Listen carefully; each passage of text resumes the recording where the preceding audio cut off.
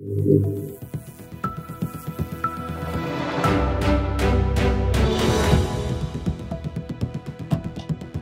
world has seen unprecedented monetary stimulus in light of COVID 19 over the last year and a half. With the rise in the money supply comes the fear that the US dollar will lose its status as the reserve currency and lose its value over time. Well, we're here to discuss this very issue and the outlook on the US dollar for 2022 and beyond with Chester Ntonifor. He is the FX strategist at BCA Research and he joins us today. Welcome to the show, Chester. Welcome to Kitco. Thank you, David. Chester, I'd like to get sort of uh, a background from you about the core drivers of the US dollar for those of us watching right now who may not be familiar with what really drives currencies and currency pairs.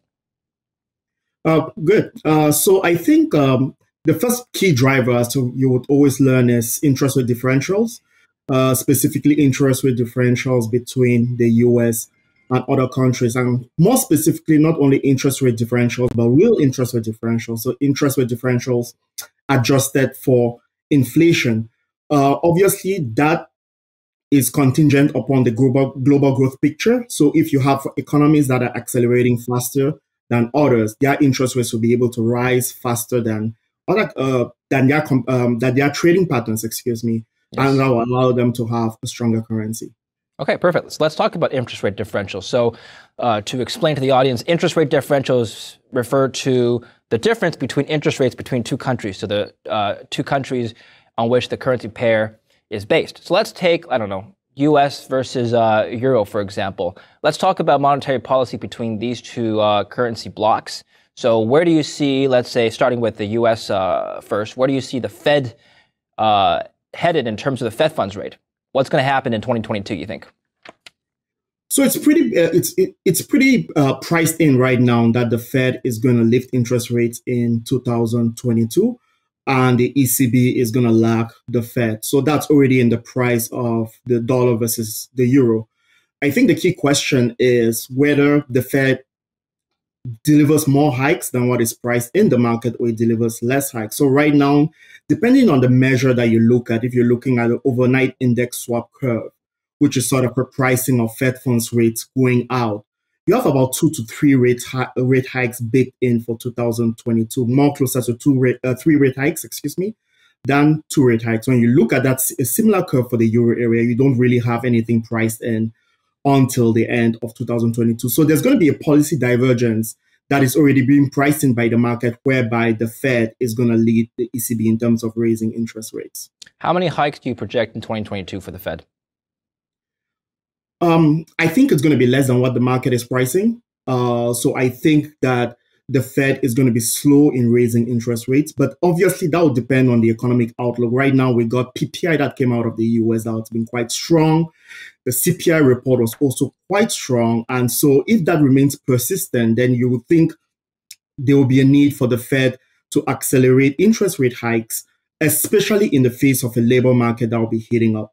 My perspective is that some of these factors are transitory, it's driven by supply driven factors. We're going to see inflation come down a little bit in 2022. And so that would give the Fed a little bit of breathing room in, in the sense that they're going to be very patient in their hiking of interest rates. Okay, so your base case scenario, maybe two hikes, three hikes? Yeah, it's very difficult to forecast these things, David, but I would yeah. say that um, you know, somewhere in the ballpark of what the market is already pricing would be what the Fed is going to deliver for. What's the market? What's the market pricing right now? So the market is pricing. It depends on what curve you look at. So if you look at the overnight index swap curve, you're pricing closer to three rate hikes. Mm-hmm. One of the favorite charts that I actually tend to look at is the spread between the euro dollar contract and the Euribor, Euribor contract for December 2022. And if you look at that spread, you're actually closer to four or five hikes that are being priced in for the Fed. So pretty aggressive pricing in the sense from the market, uh, pretty aggressive pricing from market participants, in my view. I think what the Fed actually delivers will be under will, will, will be to underwhelm this market. Look, there is a theory that the U.S. cannot raise interest rates at all. Forget two, three, four rate hikes next year. They cannot raise interest rates at all, and that is because the U.S. has close to thirty trillion dollars worth of debt, and so with higher interest rates come higher debt servicing costs. And so higher interest rates or higher interest expenses would bankrupt the Treasury. Do you agree with that view? Um, I don't particularly agree with that argument. I think yes, uh, servicing costs for debt, particularly, uh, will go up if the US hikes interest rates.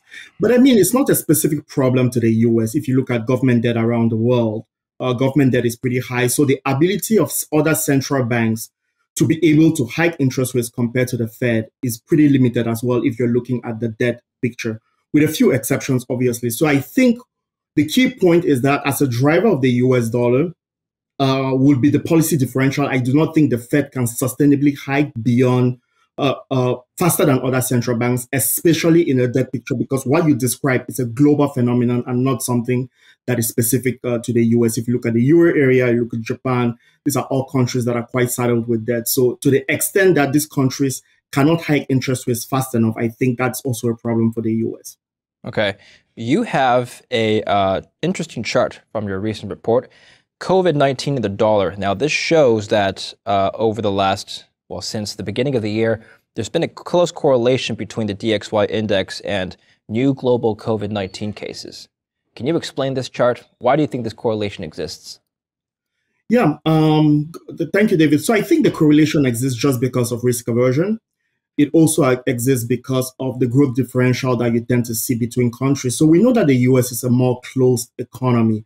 And we know that countries like the Euro area, Australia, New Zealand, these are more open economies. So when you have a rise in cases, you tend to have the economic slowdown from these countries that accelerates much faster than the US as they close their borders, as tourism uh, um, as tourism um, inflows fall, as uh, as global trade for that matter uh, uh, stalls. And so, in that sense, the US US growth becomes relatively stronger. And that tends to benefit the US dollar relative to these countries. There's also the aspect of risk aversion, whereby we know that as COVID cases are rising, we're getting into, into a glo- gro- global growth slowdown scenario.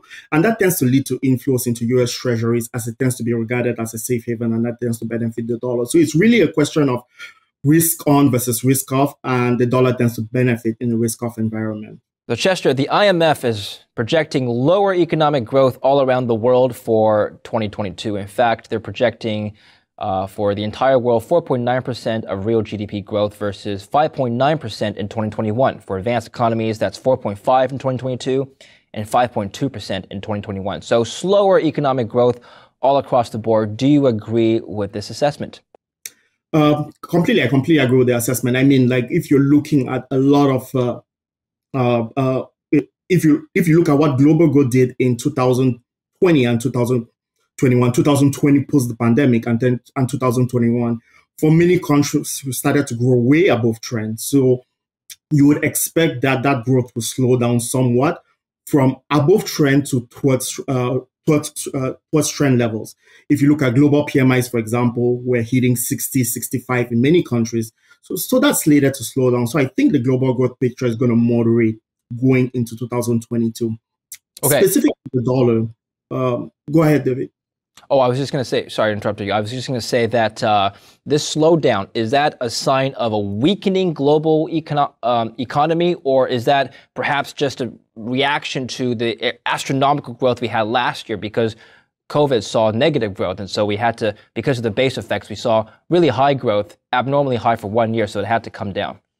Yeah, I think it's a combination of both factors. And I will just add so exactly, you have a high base starting from 2021, but I would also add that if you look at the fiscal impulse in a lot of countries, we had unprecedented fiscal stimulus both in 2020 and 2021, and that's slated to come down a little bit. So, at least from a government spending perspective, you're not going to get as big an impulse as you had in previous years. So that's something that's actually quite healthy in my view. We know that a lot of output gaps in countries are close are closing, and so in that environment, you expect global growth to slow down a little bit. I think the key question uh, for me on based on the dollar is does US growth maintain its momentum relative to other countries, or do you see a growth rotation out of the US towards other countries that are getting their populations vaccinated and that have particularly anemic growth in 2021? And I think my view is that you're going to see some rotation, and that historically has tended to be a negative for the dollar. Interesting. So, putting all this together now, what's your projection for the DXY for the next 12 months? So I think the DXY probably hits uh, 90 in the next 12 months towards 85. But I think in the very near term, you're going to see some continuous strength in the in the DXY. There's a lot of uncertainty around Omicron. Um, uh, there's a lot of uncertainty around what's going to happen to inflation around the Fed. So I think you can get some momentum in the DXY towards 98 in the very near term. That's my target. It's a target based on technical levels as well, where I see some exhaustion from net speculative positioning, some exhaustion from our capitulation indices. Beyond then, if the view that I have is right, whereby you tend to see the Fed that lacks market expectations and real interest rates remain quite low in the US, then you'll begin to see interest rate differentials start to play a role in the dollar. And that will drive it down closer to 90 towards 85, in my view. Okay. Longer term, do you see any threats to the US dollar as a global reserve currency? Um, longer term can be a very long time. Uh, so if we're talking two to three, two to three years, no. If we're talking 10 years, 15 years, possibly. Next two to three years, I really don't see that. So if you look at the, the, the BIS publishes this turnover of global transactions, and you still have 88 to 90% of global transactions that are done in US dollars. It's just very difficult to displace the US dollar as a global currency. That said, beyond three to five years, we're starting to see some positive shifts. For example, the reserve allocation of the Chinese renminbi has been rising. We're closer to 2.5% right now. We're at zero a few a few years ago. You're starting to see allocation to other currencies pick up as well, like the Japanese yen, the Canadian dollar, and some of these other fringe currencies. They remain quite small to be able to trend uh, to threaten the dollar's reserve status. But I think over the long term, you could begin to see some shifts whereby more allocation to these currencies is warranted, especially in the case of the Chinese renminbi, that is a fast growing and quite big economy. There's also the risk of cryptocurrencies as well uh, in this picture yeah. that you have to take into consideration. Well, does the uh, does the status of reserve currency is that proportional to the country's economic power? Historically, it's been, uh, but there are a combination of other factors. Uh, there's economic power, there's military power, there's the political system that comes into place. Um, uh, so, is it a democracy whereby there's rule of law and um, uh, uh, and and the protection of assets? So, in a sense, if you look historically at every reserve currency that existed, they tend to be the, they tended to be the economic superpower of the time. They also tended to be the military superpower of the time. Uh, in this particular sense, in a new paradigm, I'm not particularly sure that that necessarily applies. We're getting into a more diversified uh, sort of geopolitical system.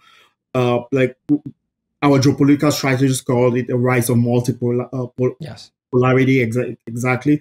And so, in this particular paradigm, I do not think that old playbook of a reserve currency particularly applies today. Well, you brought up cryptocurrencies, and I'd like to get your take on that. Central bank digital currencies are an emerging trend. The Chinese are working on one. There's talk of a Fed coin potentially down the line. What do you think that's going to do to impact uh, existing traditional foreign currencies? Well, currencies abroad and domestic, talking about the USD in particular. If you read what the these central banks have been saying, it's meant to complement this currency. So it's meant to complement fiat paper uh, and not particularly torpedo them. So I think in settling monetary policy and in creating uh, the monetary base, what you're going to have is central bank digital currencies that are going to complement fiat paper and eventually, perhaps, in a world where this is greatly accepted, overtake uh, the use of fiat paper. Already, we're using credit cards. Very, very, very, very few people, with the exception of a few countries, pay with cash anymore. And so yeah. you're gonna get you're gonna get a system whereby central bank digital currencies can, can, can, can complement what already exists in the system. And every single central bank that has been releasing their playbook for central bank digital currencies, this is exactly what I foresee. This foresee something that's going to complement the current monetary system as opposed to completely displace it. Hmm. Well, I don't think the central banks would openly, overtly admit that they're trying to torpedo the currencies now, but yeah. uh, I see your point. Uh, I'd like to come back to uh, inflation, your inflation forecast. Now, you said that inflation is transitory. Um, I've heard both sides of this debate. I'd like to get your argument as to why you think inflation is likely to come down from we're at the highest level since 1982 um, i think so, some of the factors have been supply driven uh, for example some shipping costs that have gone up quite significantly. We're beginning to see those roll over. We've also seen commodity prices in a few sectors that are starting to roll over as well. If you look at iron ore prices, for example, they have come down from their highs. You're beginning to see a rollover in crude prices. And there are a few other key commodities that drive inflation. So I think to the extent that the increase in prices that you saw this year do not repeat themselves next year, even yeah. if prices stabilize at current levels, inflation is going to fall in that particular scenario. So there's a supply side of the picture that I think is quite impo- important to inflation. More importantly, for currencies, when I'm looking at currencies, I'm not only looking at the absolute level of inflation, but I'm looking at the relative level, uh, level of inflation. And I think inflation truly has been a global problem. So it's not something that's central to the US. If you look at yes. the UK, you look at the euro area, you look at New Zealand inflation, and you look at Canada, where we're seated as well, inflation in these countries are particularly high. So from that perspective, I think that this is where this central bank divergence that I was talking about comes into right. play, where you cannot really get central banks that diverge from each other if they are particularly trying to fight inflation. Well, all else being equal, if you have a country that has very high inflation, that country's currency should erode in value, correct?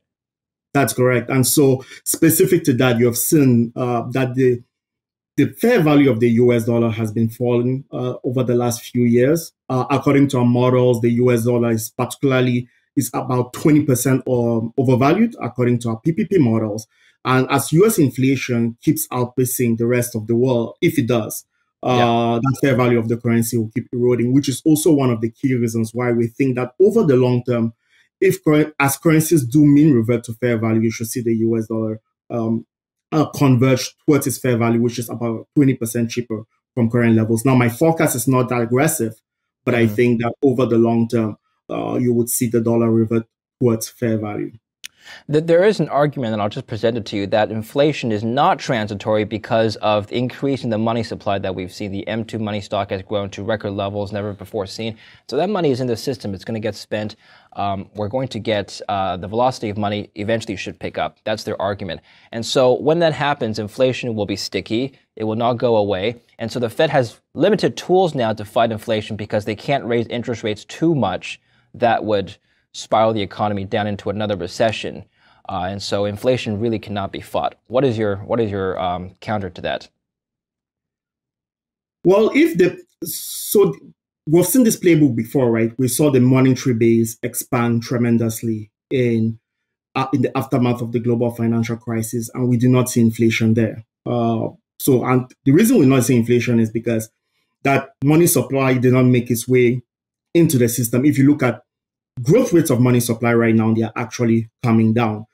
It is true that we've had a lot of transfers from governments to households, and savings rates in households have picked up quite tremendously. So if some of this money gets gets spent, you're going to have a demand shock in the face of a, a supply shock, and so that could lead to more persistent inflation. But to the extent that not all of this money is spent, some of it is saved as mm-hmm. well then you are not going to get this particularly tremendous shock that you're seeing. Uh, uh, it's infl- this, this inflation spiral that you're seeing that people are talking about. I think what is more important is if you get a wage inflation spiral. Yes. So if you begin to see wages rise, so you begin to see workers demand higher wages and they take those wages and spend them, then I think in that inflation in that scenario you have a more sustainable way, um, uh, wage inflation spiral which could be right. problematic, but it's too early to tell at the current. Uh, okay, so to sum up, uh, last segment we'll talk about gold and silver, but to sum up your dollar outlook, uh, growth overall is slowing, inflation is transitory, but the dollar will not crash, right? Exactly. So I think growth is slowing. It's going to slow to more reasonable levels in 2022. I think that if Omicron is not a problem, then you're going to see some growth rotation from the US towards other countries. That is what the Bloomberg forecast for 2022, anyways, suggests. I think in that environment, if past this prologue, you're going to see some weakening in the dollar. Somewhere closer to fair value, I think it's not going to crash, but a, a drop from the levels, from current levels of 96 towards 90, towards 85 over a 12 to 18 month horizon seems uh, quite reasonable to me. Okay. Uh, finally, let's talk about gold and silver, the precious metals. What's your outlook for gold and silver, given your outlook on the DXY? Um, so if inflation does remain a little bit sticky, even if it comes down, it remains a little bit sticky in 2000 um, in 2022. I think that precious metals do well in that environment. Uh, I particularly like silver relative to gold uh, for two reasons. First of all, I think the gold silver ratio is quite high. We're sitting close to closer to 80 right now. If you look at the mean since the 1900s, that uh, ratio has been 50. So you have some undervaluation of silver relative to gold, at least when you're looking at relative price ratios. And then the second point as well is that silver is an industrial metal. Uh, I think we're, we're, we're starting an industrial boom that's going to last a few years. Silver benefits from that. A lot of it is used in electronics, but a lot of it is also used in renewable energy. So you have a fit, you have an industrial demand aspect to silver that's particularly tied to the yeah. industries that benefit the, the new industries that governments are trying to develop that will benefit silver. So I think both gold and silver do well in 2022, but I prefer silver relative to gold. Well, you said that gold and silver should do well when inflation is sticky. Uh, wh- why haven't we seen that this year? For example, this year we've seen rising inflation in the U.S., actually all around the world, but gold uh, is down year to date. Actually, not even year to date, but the last 12 months. So, uh, wh- why, why the divergence this year? You think? So, we've looked into this, and when you run um, model on gold, there are three key factors that tend to drive gold. Uh, the first is what's happening to the dollar because gold is an anti-fiat asset. The second is what's happening to, which is related as well, uh, is what's happening to real rates.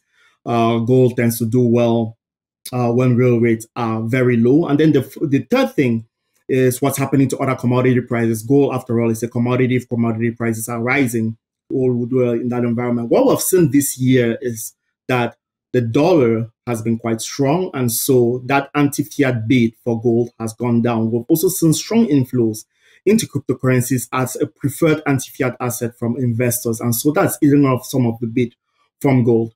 In my view, I think that when you run these models, it shows that gold is a little bit undervalued compared to where it should be based on real rates and based on uh, based on real rates, particularly inflation. And so I think there's going to be some catch up there which is why, in this sense, I tend to prefer silver, which also mm-hmm. benefits from this industrial demand that I've been talking about.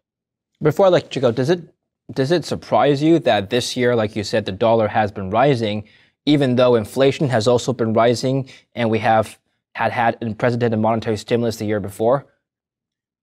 Yes, it does surprise me. And uh, again, so I think the market has run a little bit of ahead of himself of, of, themselves. So if you look at what has been the key driver of the dollar, again, it's been this interest rate differentials, particularly against uh, countries that um, many investors expect will not raise rates anytime soon. So particularly uh, yeah. uh, against the euro and particularly against uh, uh, uh, the, the, the Japanese yen. And so from that perspective, it makes sense. But then again, if you look at what has been happening with global monetary policy, we already have tightening in a lot of countries. So the Reserve Bank of New Zealand has already ended QE, has raised rates. Norges Bank has raised rates. Bank of Canada should be raising rates early next year.